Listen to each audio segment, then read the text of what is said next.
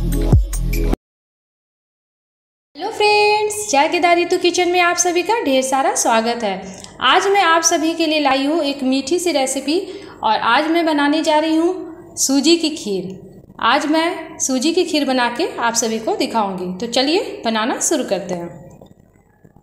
सबसे पहले मैं गैस ऑन कर लेती हूँ।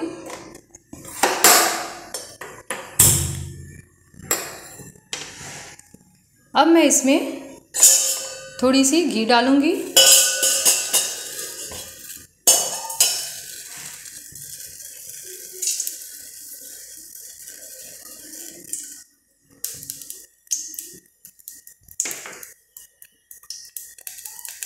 मेल्ट हो जाएगा, तब मैं इसमें एक तेज पत्ता और चार छोटी इलायची डालूँगी।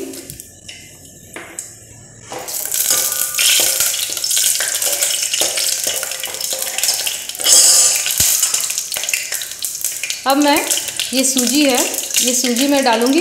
ये बिना भुना हुआ सूजी है। बस इसे मैं एक से दो मिनट के लिए इस तरीके से भून लूँगी। इसे ज़्यादा नहीं भूनना है, फ्रेंड्स। बस एक से दो मिनट के लिए भूनना है। सूजी को हल्का भूनना है, फ्रेंड्स, जिससे कि इससे थोड़ी सी कच्चापन हट जाए। सूजी का। खीर बहुत ही स्वादिष्ट लगती है फ्रेंड्स मैंने एक बार बचपन में ये खीर खाई थी। मेरी एक फ्रेंड ने इसे बनाकर खिलाई थी मुझे। मुझे बहुत ही ज़्यादा पसंद आई थी। इसलिए मैंने सोची, क्यों ना आज मैं वो आपके साथ रेसिपी शेयर करूँ।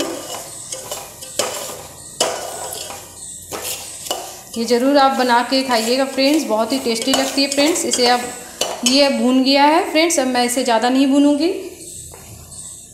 अब मैं इसमें दूध डालूँगी।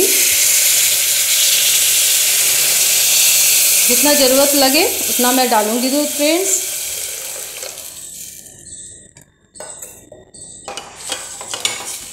ऐसे थोड़ा अच्छे तरीके से मिला लेना है, जिससे कि गाढ़ गाढ़ ना बन जाए ये, क्योंकि सूजी कभी कभी गाढ़ बन जाती है थोड़ी थोड़ी इसलिए इसे थोड़ा सी कंटिन्यू चलाते रहना है।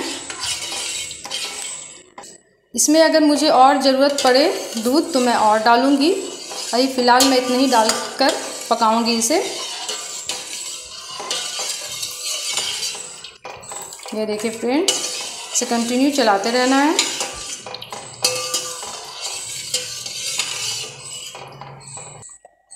कंटिन्यू इसे चलाते रहना है फ्रेंड्स जिससे कि ये बैठे भी नहीं। और ये साइड से लगे भी नहीं फ्रेंड्स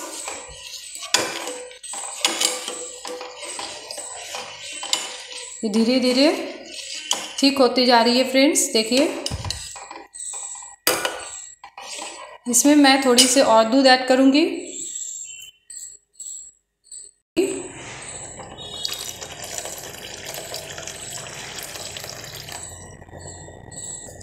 और इसे मैं मीडियम फ्लेम में इसे धीमे धीमे आँच में इसे अच्छे तरीके से पकाऊँगी फ्रेंड्स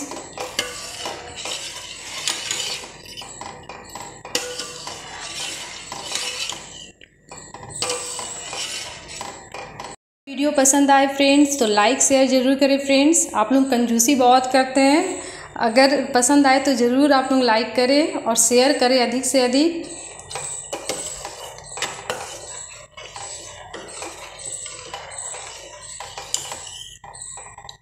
और कमेंट करके बताएँ, फ्रेंड्स, ये खीर आपको कैसी लगी?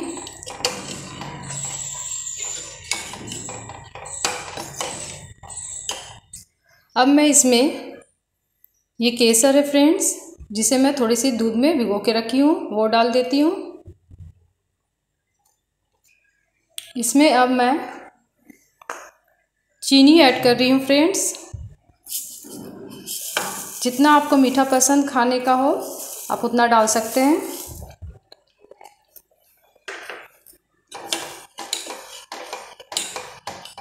ये देखिए फ्रेंड्स धीरे धीरे ये ठीक होती जा रही है। ये ठंडा खाने में बहुत अच्छा लगता है फ्रेंड्स। मैं मिल्क मेड डाल रही हूँ फ्रेंड्स। इससे भी खीर बहुत स्वादिष्ट हो जाती है।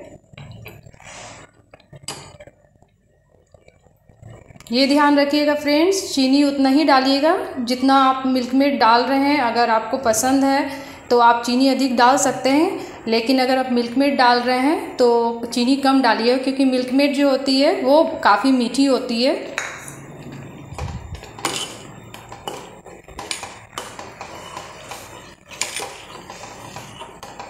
फ्रेंड्स, ये हो गया है।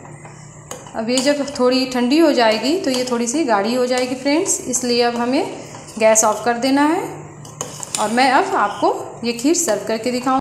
ये बनकर तैयार है सूजी की खीर। अगर मेरा वीडियो पसंद आए तो लाइक, शेयर ज़रूर करें फ्रेंड्स। अगर मेरे चैनल पर नए हैं तो सब्सक्राइब करना ना भूलें और सब्सक्राइब के बगल में बेल आइकन है, उसे भी ज़रूर प्रेस कर दें जिससे कि मेरा वीडियो का नोटिफिकेशन आपको मिलता रहे। ओके फ्रेंड्स, नए वीडियो के साथ मैं फिर मिलूँगी। बाय।